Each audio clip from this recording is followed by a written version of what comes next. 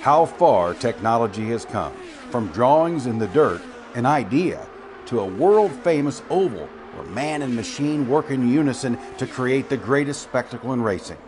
The folks we need to operate those race cars are not the guys that are driving them, they're pointing them, but it's the technology behind it. It's the students who have been educated that are now engineers and mechanics who really understand computers and how to make these cars run.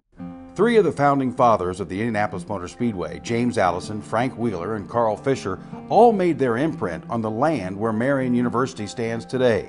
Innovative leaders, much like the Sisters of Oldenburg, who saw promise in this fertile soil all leaders with vision. I think that most of us uh, that went to college realize as we get older that somebody provided a platform for us to stand on to get where we got.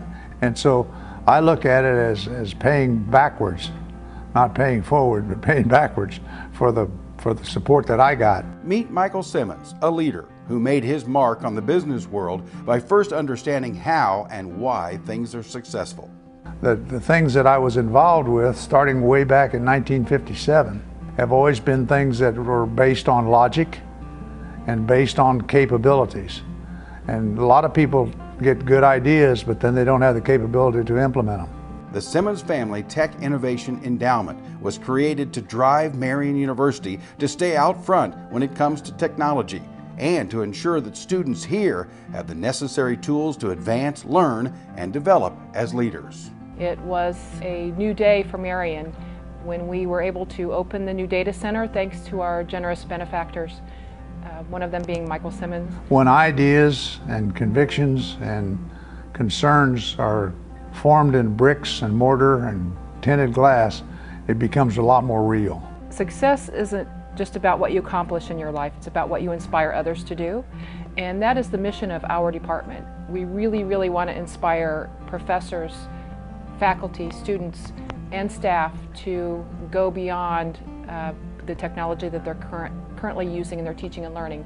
Our students, when they graduate, are going to go out into occupations where they're going to be expected to use technology because that's just the way things are done today. And it doesn't matter if they're going into education or going into finance or going into nursing or what they go into, there's going to be applications of technology. Support our students and give them the background that they need we need a much higher level of technology integration into the classroom. And so much of what we do is about technology. The race cars you see on track are not only about technology in the automobile, but we are, we're testing computer technology, um, communication technology through the cars to the pit lane, to, through computers. I mean, it, it, is, it is basically, our racing is basically one rolling computer. What we're trying to do is establish it that you can donate to this fund, either matched or unmatched. You can be one of a match or if you want, if you want to make a large donation. That, that, that the funding is used only for research and development.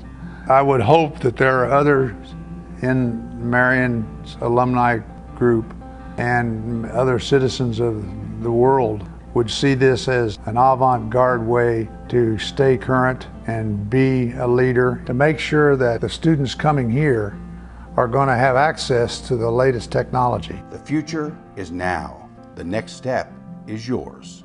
Every great institution has had someone somewhere along the way that pushed it in one direction or another.